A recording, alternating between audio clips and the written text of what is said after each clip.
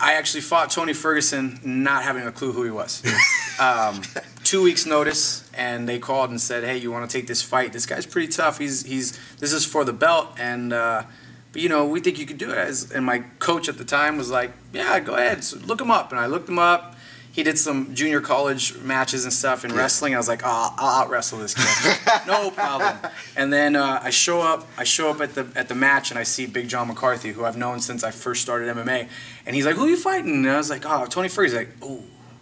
He's good. and right there, I was like, this is going to be a lot more than I thought it was going to be.